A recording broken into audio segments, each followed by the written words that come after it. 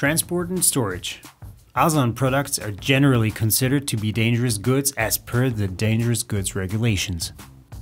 Specific road transport regulations must be complied with in terms of packaging, load safety, and the labeling of dangerous goods.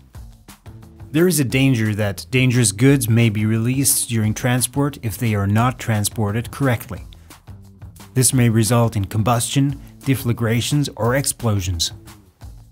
The transport of dangerous goods is governed by comprehensive and sometimes complicated regulations. However, if they are only transported in small quantities, exemption regulations may be applied.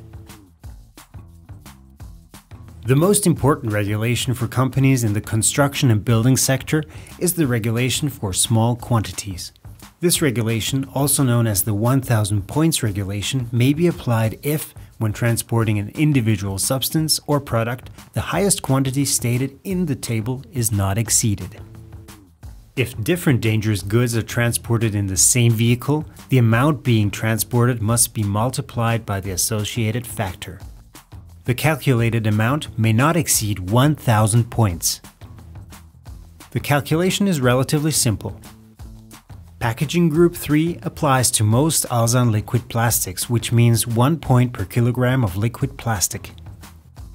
Catalysts generally fall into Group 2, which means 3 points per kilogram. Particularly dangerous goods, for example some epoxy resins, fall into Group 1. In this group, 50 points per kilogram must be calculated.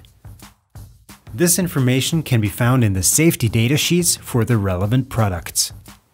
The following requirements apply, among others, when transporting small quantities. The driver has received training in handling dangerous goods. Load safety, safe storage, for example, packages are tied down. Ban on naked lights.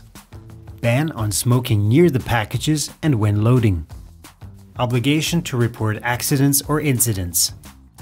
Hazard label and UN number on each package. Availability of a fire extinguisher from fire class A, B, C, for example 2 kilograms of powder. These must be inspected at least every two years.